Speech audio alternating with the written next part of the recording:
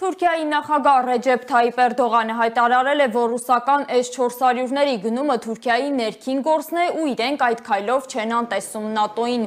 Դրանք շատ կարևոր հարցակողական ու պաշտպանական համակարգեր են ու կարևոր ձեռքբերում Ռուսաստանի ու Թուրքիայի համար, ասել է Թուրքիայի նախագահը։ Նրա խոսքով դաշինքի անդամ երկրները իրավունք ունեն ինքնուրույն որոշում ներկայացնել, թե իրենց զինված ուժերի համար ումից զենք գնեն։